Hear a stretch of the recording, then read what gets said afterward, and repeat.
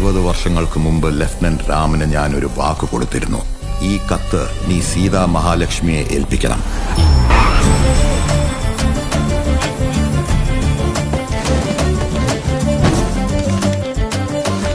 ഇതിൽ സീത എന്ന പേരേ ഇല്ലല്ലോ സീതാ മഹാലക്ഷ്മി എന്ന പേരിൽ ഭൂതഭാവി വർത്തമാന കാലത്തിൽ അവിടെ ആരും ഉണ്ടായിട്ടില്ല. സീത ആരാണെന്ന് അറിയില്ല. എവിടെയാണെന്ന് അറിയില്ല. രാമനെ അറിയാൻ കഴിഞ്ഞാൽ സീത കണ്ടുപിടിക്കാൻ ഈസിയല്ലേ lieutenant Ram Madras regiment service year nineteen sixty five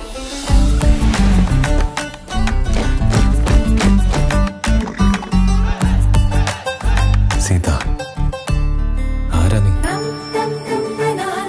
അമ്പോ എന്തുവാ ഇത്? കണ്ണു വെക്കാറാ. ആരെങ്കിലും നാല് വാക്ക് അങ്ങോട്ട് എഴുതി അയച്ചാൽ കാശ്മീരിൽ നിന്ന് കെട്ടുമടക്കി ഇങ്ങോട്ട് വരാൻ നിൽക്ക. ഞാൻ മര്യാദയ്ക്ക് ഒറ്റയ്ക്ക് ജീവിച്ചുകൊണ്ടിരുന്നവന്.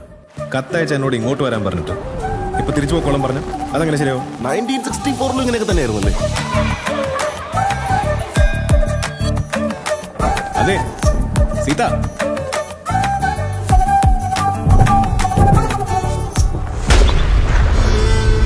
ട്വന്റി ഇയേഴ്സ് ബാക്ക് അദ്ദേഹത്തിന്റെ കൂടെ വർക്ക് ചെയ്തിരുന്ന ലെഫ്റ്റനന്റ് രാമനെ കുറിച്ച് അറിയാനോ?